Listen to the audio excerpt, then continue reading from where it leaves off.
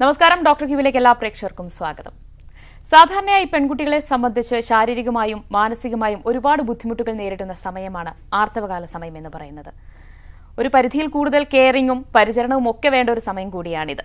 പലർക്കും പലതരത്തിലുള്ള ആർത്തവകാല ബുദ്ധിമുട്ടുകളാണ് നേരിടേണ്ടി വരാറുള്ളത്. ഇന്ന് ഡോക്ടർ ക്യൂവിൽ നമ്മൾ സംസാരിക്കുന്നത് ആർത്തവകാല പ്രശ്നങ്ങളെക്കുറിച്ചാണ്. ഈ വിഷയത്തെക്കുറിച്ച് സംസാരിക്കാൻ തിരുവനന്തപുരം ഇടപ്പഴഞ്ഞി എസ് കെ ഹോസ്പിറ്റലിലെ ഗൈനക്കോളജിസ്റ്റ് ഡോക്ടർ വീണ ചൂടാമണി ഒപ്പമുണ്ട് ഡോക്ടർ സ്വാഗതം ഡോക്ടർ ക്യൂവിലേക്ക്.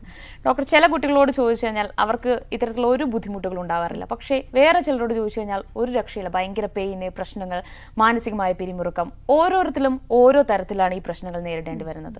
ഇതൊരു സ്വാഭാവികമായി ഉണ്ടാകുന്ന ഒരു പ്രശ്നം മാത്രമാണോ? സ്ത്രീകളെ സംബന്ധിച്ച്. ആണ്.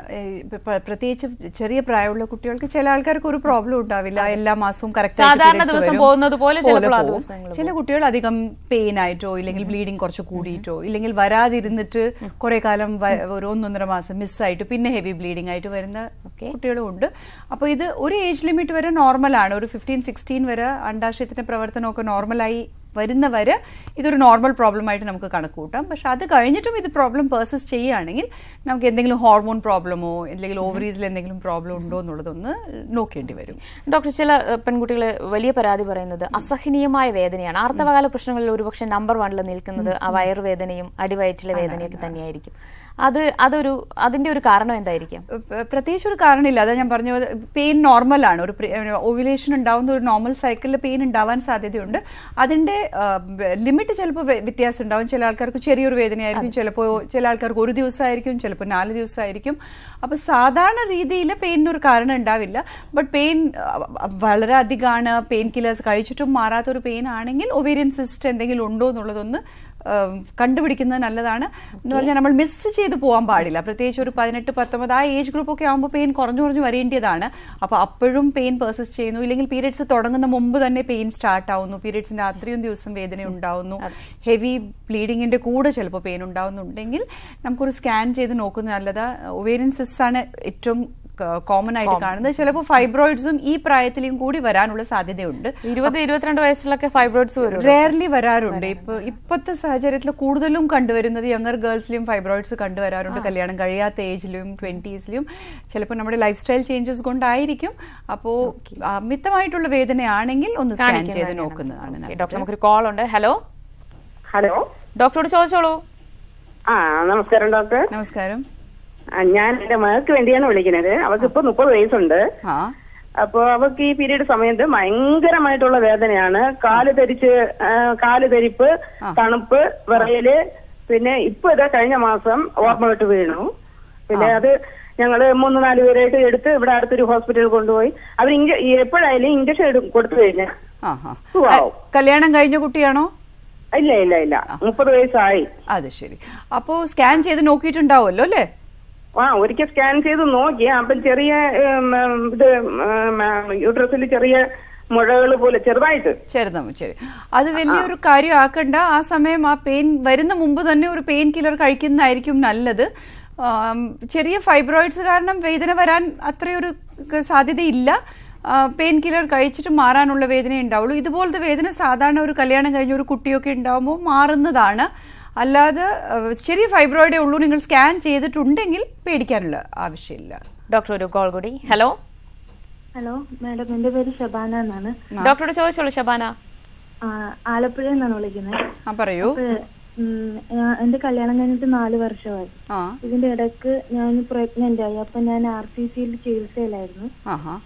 അപ്പൊ അത് അബോഷൻ ചെയ്ത് കളഞ്ഞതാ. എടുത്തിങ്ങനെ കളയുമായിരുന്നു ഓഹോ. ഒന്നര മാസമായപ്പം. ഇപ്പൊ രണ്ടാമത് ഈ മൂന്ന് മാ ഒരു മാസം മുമ്പ് രണ്ട് മാസം ശേഷം ഉണ്ടായിരുന്നു. അങ്ങനെ അത് അലസിപ്പോയി. ഉള്ളിൽ വെച്ച് തന്നെ തന്നെ പോവുക ചെയ്തു. അപ്പൊ എന്റെ സ്കാനിങ്ങിൽ ഒന്നേ പോയിന്റ് ഫൈവ് സെന്റിമീറ്ററിൽ എന്താ ഒരു ചെറിയൊരു ഫൈബ്രോയിഡ് ഇപ്പൊ മാഡം പറഞ്ഞില്ല അതേപോലെ ചെറിയൊരു ഫൈബ്രോയിഡ്.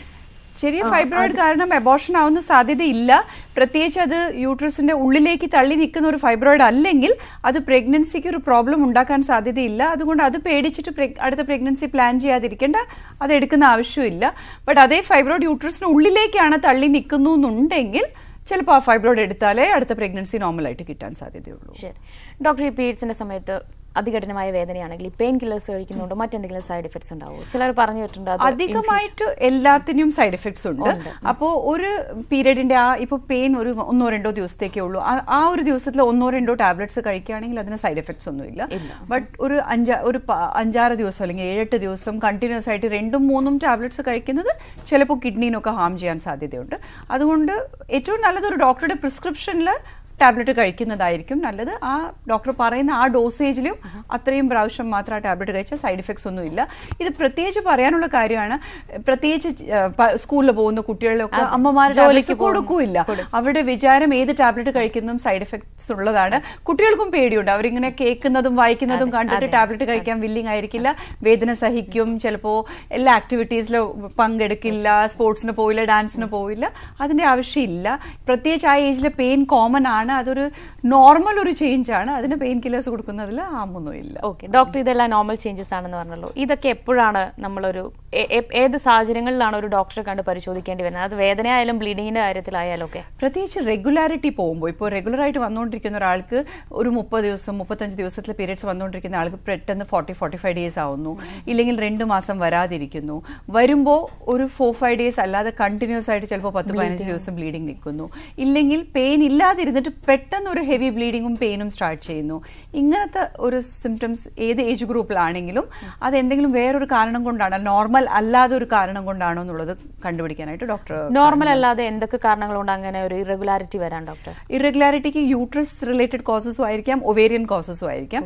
അപ്പോൾ ഓവറിയിലെ പ്രത്യേകിച്ച് ഹോർമോണൽ ചേഞ്ചസ് വരികയാണെങ്കിൽ അല്ലെങ്കിൽ പോളിസിസ്റ്റിക് ഓവറി എന്ന് പറഞ്ഞൊരു പ്രശ്നം ഉണ്ടെങ്കിൽ ഒവേരിയൻ സിസ് ഉണ്ടെങ്കിൽ ഇല്ലെങ്കിൽ യൂട്രസ് സംബന്ധിച്ച് ചിലപ്പോൾ യൂട്രസിൽ ചെറിയൊരു ഗ്രോത്ത് ഒരു പോളിപ്പ് എന്ന് പറഞ്ഞൊരു ഫ്ലഷി ഗ്രോത്ത് ഉണ്ടെങ്കിലോ ഫൈബ്രോയിഡ്സ് ഉണ്ടെങ്കിലോ അല്ലെങ്കിൽ യൂട്രസിലെ മൗത്തിൽ സെർവിക്സിൽ എന്തെങ്കിലും ഒരു ഗ്രോത്ത് ഉണ്ടെങ്കിലോ ഈ ഇറഗുലർ പീരിയഡ്സും ഹെവി ബ്ലീഡിങ്ങും മാസത്തിൽ ചിലപ്പോൾ പത്തോ പതിനഞ്ച് ദിവസം കൂടുമ്പോൾ തന്നെ ബ്ലീഡിംഗ് വരിക പീരിയഡ്സിന്റെ സമയത്ത് പെയിൻ വരിക. ഇതൊക്കെ യൂട്രൈൻ ഇല്ലെങ്കിൽ ഒവേരിയൻ കോസസ് രണ്ടുകൊണ്ടും വരാൻ സാധിക്കും കാരണം കണ്ടുപിടിക്കേണ്ടത് അത്യാവശ്യം തന്നെയാണ് അത്യാവശ്യമാണ്. എന്നാലല്ലേ അതിനൊരു പരിഹാരം കണ്ടെത്താൻ പറ്റും. അതേപോലെ ചിലപ്പോൾ ഒരു ചെറിയ ഗ്രോത്ത് ആയിരിക്കും ചെറിയൊരു മുഴയായിരിക്കും. അതിന് വേഗം തന്നെ നമ്മൾ ചികിത്സിച്ചാൽ അത് സൈസ് കൂടാതിരിക്കും. ചിലപ്പോൾ കാണിക്കാതിരിക്കുമ്പോൾ വളരെ വലിയ ഫൈബ്രോയിഡ്സ് ആയിട്ടോ ഇല്ലെങ്കിൽ വലിയൊരു ഒവേരിയൻ സിസ്റ്റ് ആയിട്ട് ഇൻഫെർട്ടിലിറ്റിക്കൊക്കെ ചിലപ്പോൾ കാരണം കാരണമാവാൻ ഡെഫിനറ്റ് ആയിട്ടും സാധ്യതയുണ്ട്. ഡോക്ടർ നമുക്കൊരു കോൾ ഉണ്ട്. ഹലോ ഹലോ ഡോക്ടറോട് ചോദിച്ചോളൂ. ഡോക്ടറെ. പറയൂ.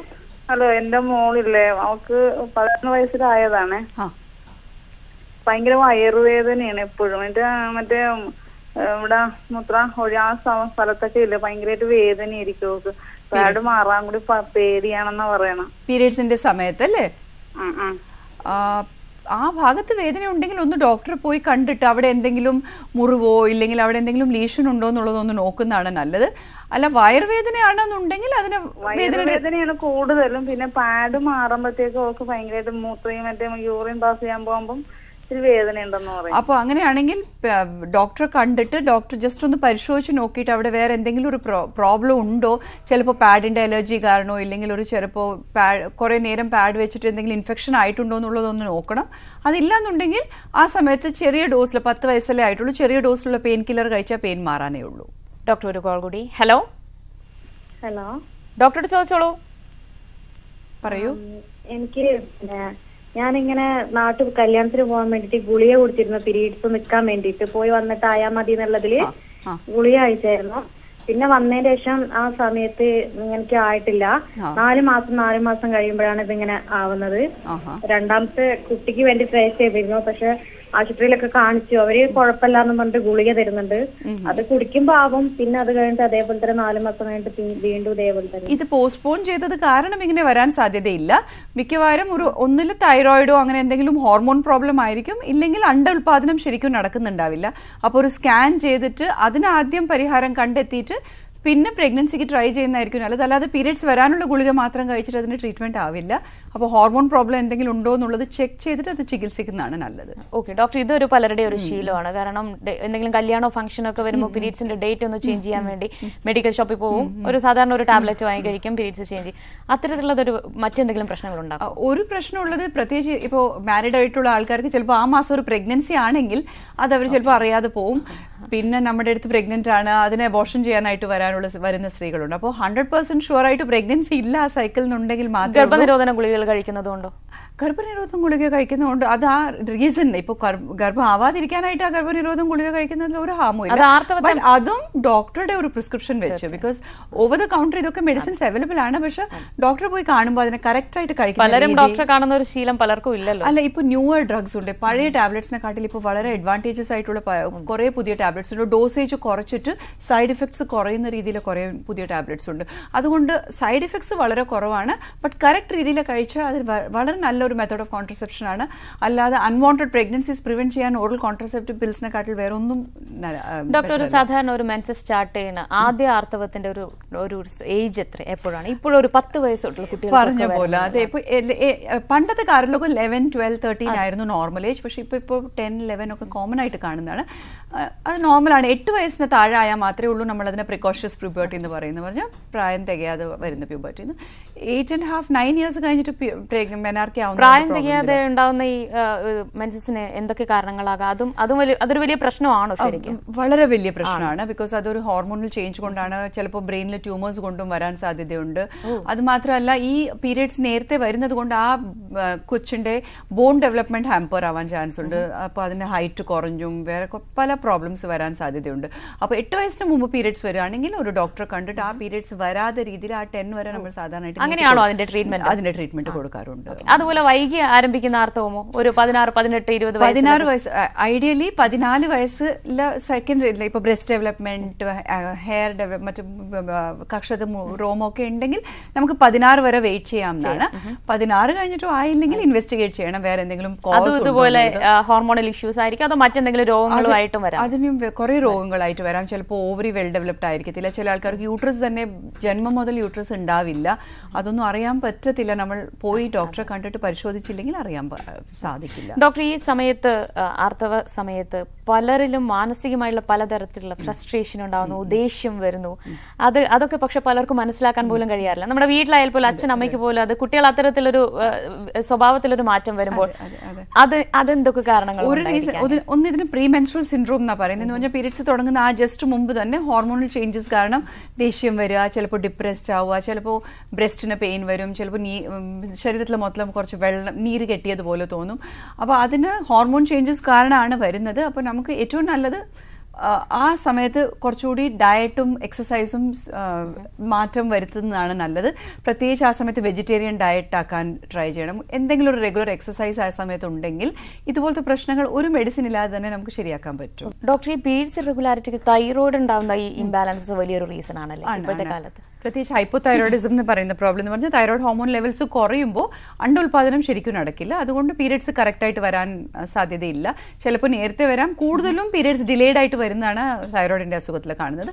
അതേപോലെ തൈറോയിഡ് ഒരു മാസമൊക്കെ ഇടവിട്ടൊക്കെ ആയിരിക്കും ചിലപ്പോൾ? ഒന്നര മാസം രണ്ട് മാസം കൂടുമ്പോൾ ഒക്കെ ആയിരിക്കും. ഹൈപ്പർ തൈറോയിഡ് ലെവൽ തൈറോയിഡിന്റെ ഏത് മാറ്റം വന്നാലും അത് പീരിയഡ്സിന് ഡെഫിനറ്റ് ആയിട്ട് ഹൈപ്പോ ആണെങ്കിൽ ഹൈപ്പർ ആണെങ്കിലും ട്രെൻഡിലും. രണ്ടിലും മെൻസ്ട്രൽ ഇറഗുലാരിറ്റീസ് വരും. കൂടുതലും കോമൺ പിന്നെ ഹൈപ്പോ തൈറോയിഡിസം ആണ്. തൈറോയിഡ് ലെവൽസ് കുറയുന്നതാണ് കൂടുതലും കോമൺ ആയിട്ട് കാണുന്നത്. ഓക്കെ ഡോക്ടർ നമുക്കൊരു കോൾ ഉണ്ട്. ഹലോ ആ ഹലോ ഡോക്ടർ ഡോക്ടർ ചോദിച്ചോളൂ.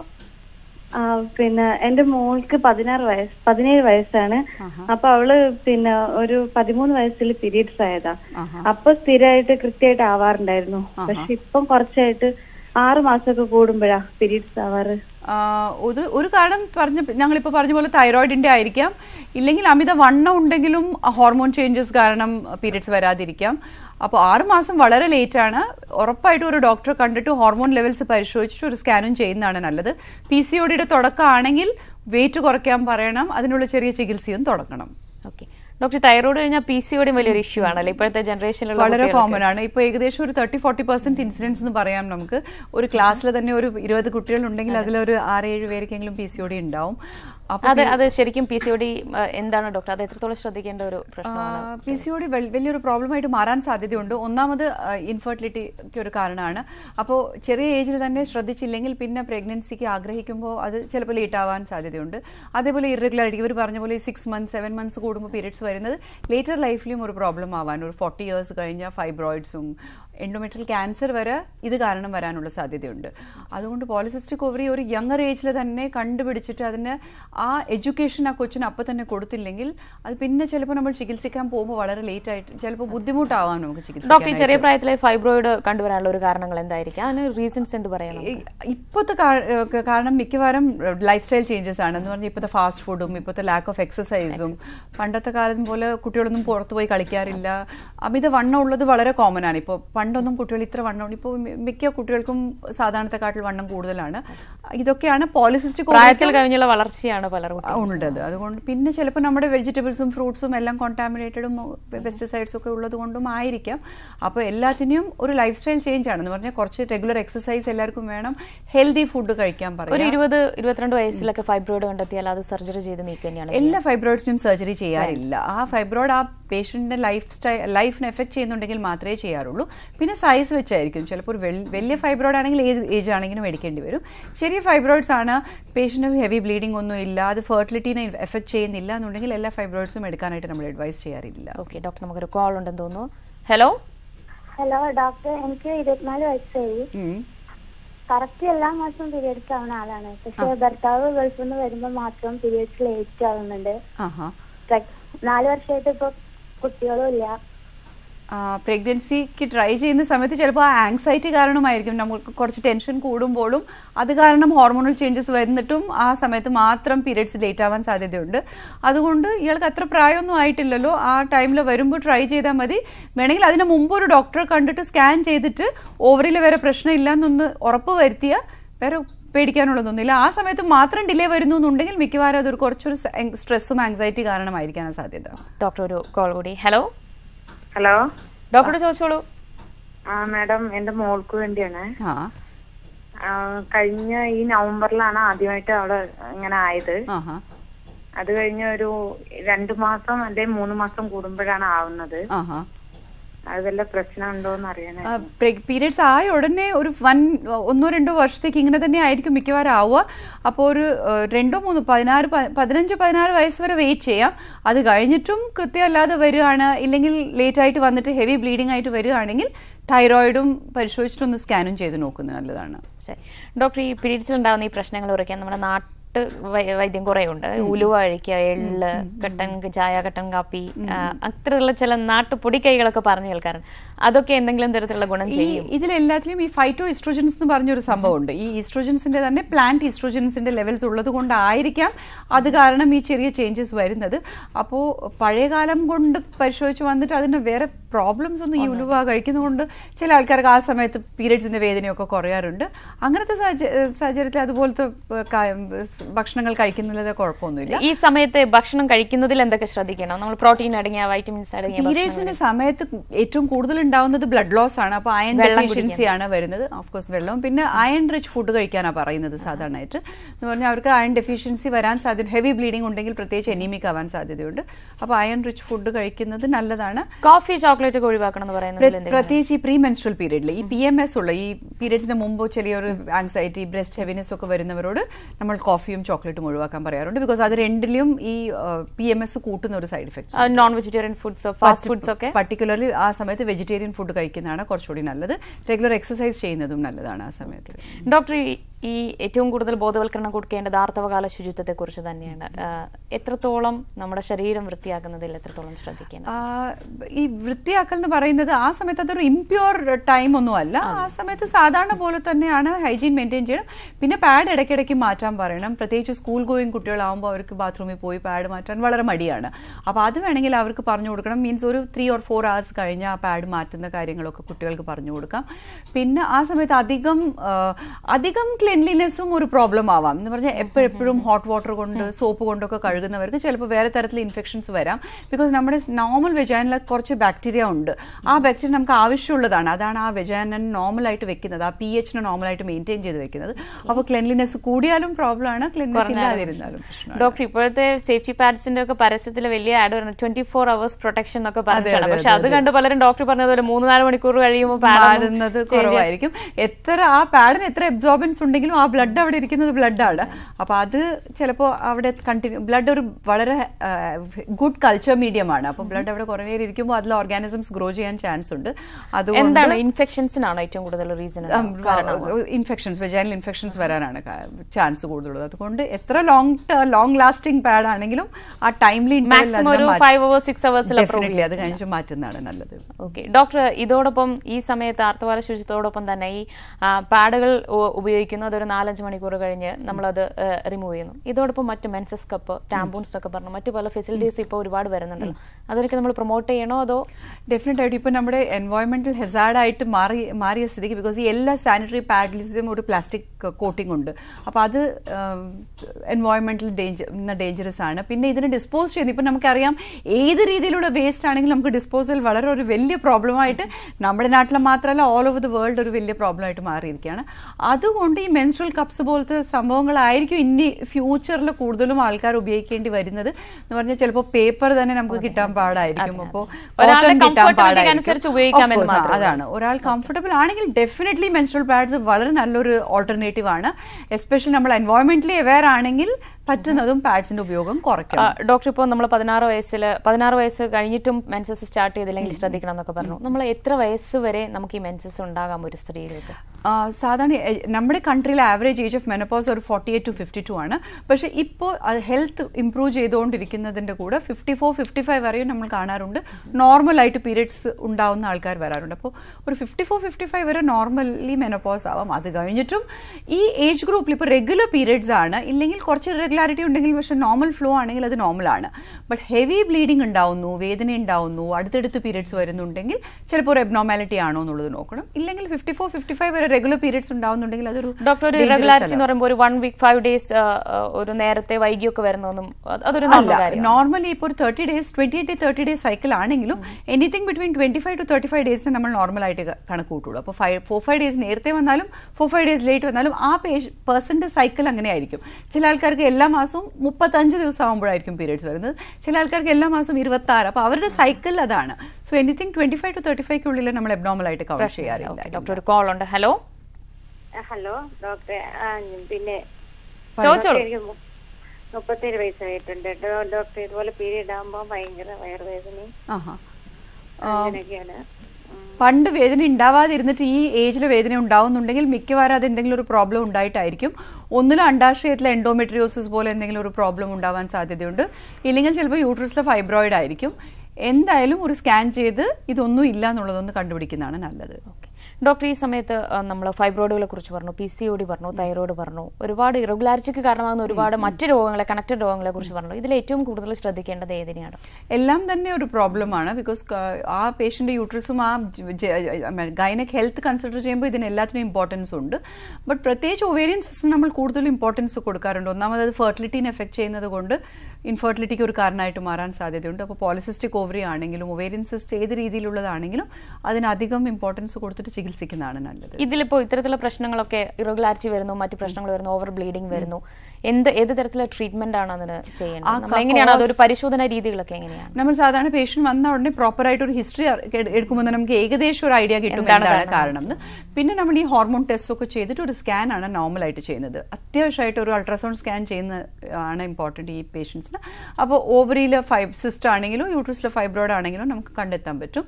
ആ ഓവേരിയൻ ഫൈബ്രോയിഡ് ആ പേഷ്യന്റ് ആ ബ്ലീഡിങ്ങിന്റെ കാരണമാണെങ്കിൽ ഡെഫിനറ്റ് ആ ഫൈബ്രോയിഡ് എടുത്താലേ ആ ബ്ലീഡിങ് കൺട്രോൾ ആവുള്ളൂ. അപ്പോൾ ഒരു യങ് ഏജ് ഗ്രൂപ്പിൽ ഫോർട്ടിക്ക് താഴെ ആണെങ്കിൽ യൂഷ്വലി നമ്മൾ ഫൈബ്രോയിഡ് മാത്രമേ മാറ്റാറുള്ളൂ. ഫോർട്ടി ഇയേഴ്സ് കഴിഞ്ഞിട്ടുള്ള പേഷ്യന്റ് ആണ് അവരുടെ ഫാമിലി ഒക്കെ കംപ്ലീറ്റഡ് ആണ് കുറേ ഫൈബ്രോയിഡ്സ് ഉണ്ടെങ്കിൽ അവർക്ക് നമ്മൾ ഹിസ്റ്റക്ടമിയുടെ ഒരു ഓപ്ഷനും കൂടി കൊടുക്കാറുണ്ട്. ഫൈബ്രോയിഡ്സ് എന്ന് പറഞ്ഞാൽ ഒരു ഫൈബ്രോയിഡ് ഉള്ള ആൾക്ക് പിന്നീട് ഫൈബ്രോയിഡ് വരാൻ സാധ്യതയുണ്ട്.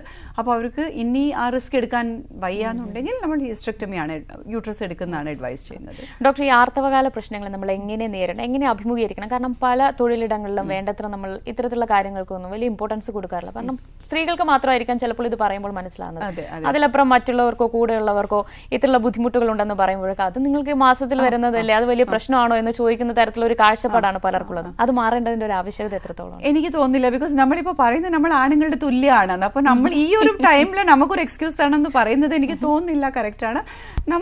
അതിന്റെ കൂടെ തന്നെ പറ്റുന്നതും നമ്മുടെ ഡേ ടു ഡേ ആക്ടിവിറ്റീസും വർക്കും കണ്ടിന്യൂ ചെയ്യണം എന്നാണ് ഞാൻ പറയുന്നത്.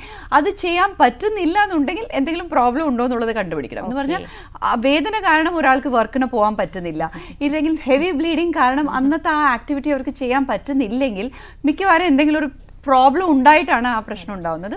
അതുകൊണ്ട് അതിന് പരിഹാരം പ്രോബ്ലംസിനെ പലരും അതൊരു സാധാരണ വിഷയമാണ് ഒരു നോർമൽ തിങ് ആണെന്ന് പറഞ്ഞ് തള്ളിക്കളയുന്ന ഒരു സിറ്റുവേഷൻ അത് അതാണ് ഞാൻ പറയുന്നത്. ആ നമ്മുടെ നോർമൽ ഡേ ടു ഡേ ലൈഫിനെ അത് എഫക്ട് ചെയ്യുന്നുണ്ടെങ്കിൽ ആ പ്രോബ്ലമിന് ചികിത്സിച്ചേ പറ്റും. അപ്പോൾ ചില ആൾക്കാർ ഇപ്പോൾ ഹെവി ബ്ലീഡിംഗ് ആണ് അല്ലെങ്കിൽ അവർക്ക് ആ പീരിയഡ്സിന്റെ സമയത്ത് വേദന ഉണ്ടെങ്കിൽ ആരും മൂന്നാൽ ദിവസം ലീവ് എടുത്ത് വീട്ടിലിരിക്കും. ബട്ട് അവർ ആലോചിക്കാത്ത കാര്യം ഈ എന്തുകൊണ്ടാണ് ഇത് വരുന്നത്? ഞാൻ ചിലപ്പോൾ ഒരു ഡോക്ടറെ കണ്ടിട്ട് അതിനെ ട്രീറ്റ് ചെയ്താൽ എനിക്ക് ലീവ് എടുക്കേണ്ടി വരില്ല എനിക്ക് ആ സമയത്ത് എന്റെ മെയിൽ കലീഗ് ചെയ്യുന്ന അതേ വർക്ക് എനിക്കും ചെയ്യാൻ പറ്റുന്നു എന്നുള്ളത് ആൾ- ചില സ്ത്രീകൾ ആലോചിക്കുന്നില്ല. അപ്പൊ ഞാൻ പറയുന്നത് ഇതിനെ നമ്മളൊരു എക്സ്ക്യൂസ് ആയിട്ട് കൗണ്ട് ചെയ്യാൻ പാടില്ല. ഇതിനൊക്കെ ചികിത്സയുണ്ട്. അതിനാണല്ലോ ഞങ്ങൾ ഗൈനക്കോളജിസ്റ്റ് ഇവിടെ ഇരിക്കുന്നത്. അപ്പോൾ ഒരു ഡോക്ടർ വന്ന് കാണുക അതിനെ ചികിത്സിച്ചിട്ട് അതൊരു പ്രോബ്ലം ആയിട്ട് മാറാത്ത രീതിയിൽ നോക്കണം. തീർച്ചയായും. ആത്തവാല പ്രശ്നങ്ങൾ എന്ന് പറയുന്നത് നമ്മൾ അത്രത്തോളം എടുത്തു പറഞ്ഞ അതൊരു വലിയ പ്രശ്നമാണെന്നോ വലിയ ആരോഗ്യ പ്രശ്നമാണെന്നോ കാണേണ്ട ഒരു കാര്യമല്ല. അതൊരു സാധാരണ എല്ലാ സ്ത്രീകൾക്കും നടക്കുന്ന ഒരു പ്രശ്നം മാത്രമാണ്. അതിൽ കവിഞ്ഞ് ബുദ്ധിമുട്ടുകൾ ഉണ്ടാകുമ്പോൾ വേദന ഉണ്ടാകുമ്പോൾ ഓവർ ബ്ലീഡിംഗ് ഉണ്ടാകുമ്പോൾ ഡോക്ടർ പറഞ്ഞതുപോലെ ഒരു ഡോക്ടറെ കാണുക അതെന്താണ് കാരണമെന്ന് കണ്ടുപിടിക്കുക. അതിനെ ട്രീറ്റ് ചെയ്യാന്ന് തന്നെയാണ് ആദ്യം ചെയ്യേണ്ടത്. വളരെയധികം നന്ദി ഡോക്ടർ ഞങ്ങളുടെ അതിഥിയായി എത്തിയതിന്. ഇന്നത്തെ ഡോക്ടർക്ക് ഇവിടെ പൂർണമാവുകയാണ്. വീണ്ടും കാണാം. നമസ്കാരം.